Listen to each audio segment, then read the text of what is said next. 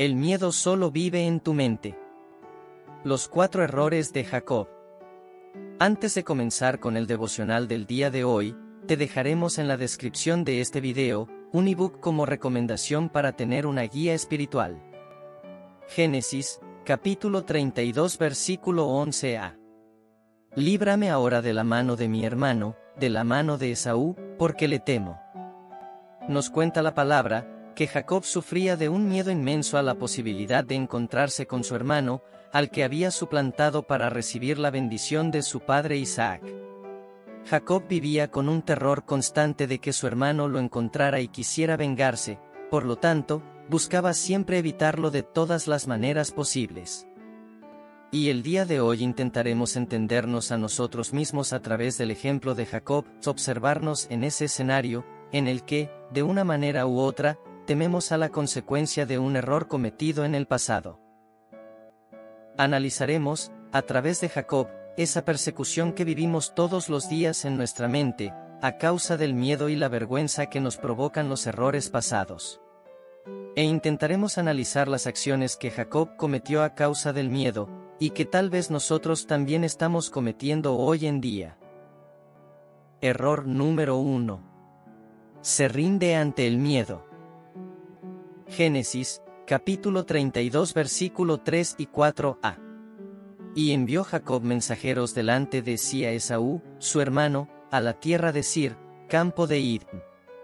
Y les mandó diciendo, Así dirás a mi señor Esaú, así dice tu siervo Jacob. Jacob nombraba a su hermano como su señor, y se veía a sí mismo como su esclavo. Y no por un tema de educación o modales, sino, por el miedo que el encuentro con su hermano le infundía. Error número 2. Su confianza está en lo material, busca la gracia por medio de sus posesiones. Génesis, capítulo 32 versículo 5. Y tengo vacas, asnos, ovejas, siervos y siervas, y envío a decirlo a mi señor Esaú, para hallar gracia en tus ojos. Y es que muchas veces así somos nosotros también, decimos creer y confiar en Dios, pero depositamos toda nuestra confianza en las posesiones materiales, creyendo que ellas nos salvarán y librarán de ese gran problema. Error número 3. Las amenazas lo hacen temblar. Génesis, capítulo 32 versículos 6 y 7a. Y los mensajeros volvieron a Jacob, diciendo, Vinimos a tu hermano Esaú, y él también viene a recibirte, y cuatrocientos hombres con él. Entonces Jacob tuvo gran temor, y se angustió. Jacob ya olvidó por completo el amor y las promesas de protección recibidas por Dios. Lo único que alcanza a ver en este momento es la amenaza, y eso le provoca miedo y angustia. Error número 4. El miedo divide y pone en riesgo a su familia.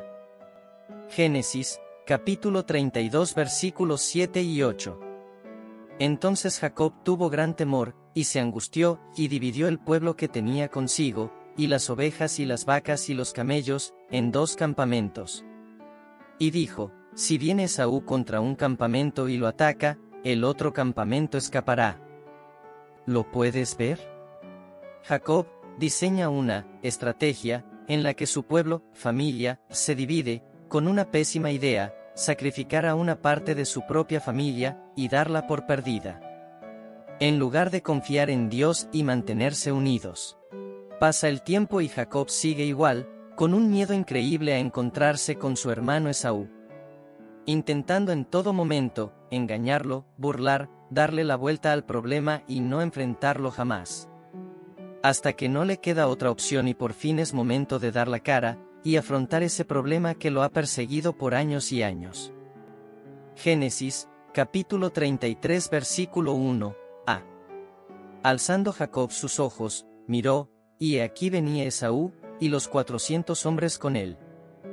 Por fin está cara a cara con ese momento que lo llenaba de terror y angustia, ¿y qué pasó entonces? Génesis, capítulo 33 versículo 4. Pero Esaú corrió a su encuentro y le abrazó, y se echó sobre su cuello, y le besó, y lloraron. ¿Lo puedes ver? Ese, gran problema, que lo había perseguido por años, que lo llenaba de miedo y angustia, y que no le permitía avanzar.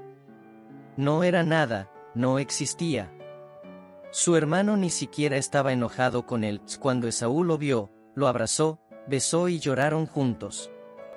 Está demostrado, incluso científicamente, que un muy alto porcentaje, algunos dicen que cercano al 90% de las cosas que nos preocupan, en realidad nunca sucederán. Confía y descansa, Dios tiene el control de tu vida. Proverbios, capítulo 28 versículo 1. Huye el impío sin que nadie lo persiga, mas el justo está confiado como un león.